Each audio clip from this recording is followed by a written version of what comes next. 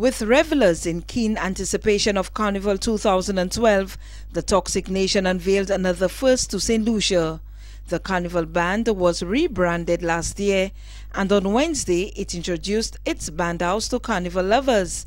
Toxik Band House, which is being described as the chic upscale location, provides revelers and Carnival enthusiasts with a chance to view the band's portrayal for 2012 and to register. All of the band services will be available from this central location in the heart of the buzzing commercial center of Castries. At the start of our Carnival 2012 season, we said to you, the media, and to St. Lucia by extension, that for Carnival 2012, we will do things that no other band has done in the history of St. Lucia Carnival.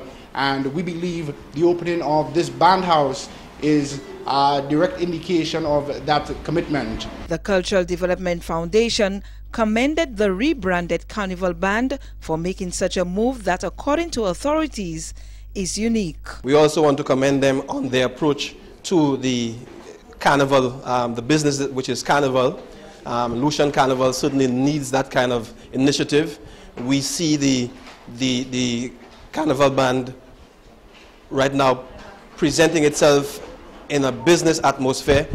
This, um, what we call in your face um, type of promotion. We've not seen this before, and we think it all goes very well for St. Lucia Carnival. Carnival Band House has been buzzing from Monday after a soft opening.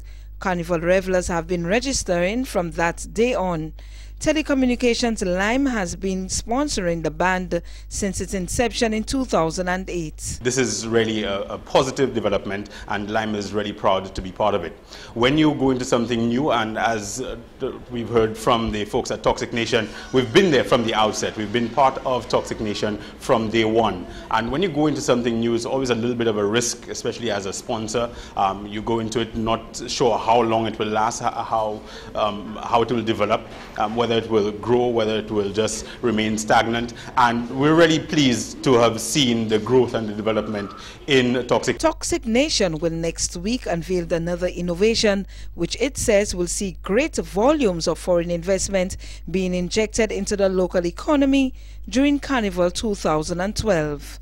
Reporting for the DBS News World, I am Cecil Actel.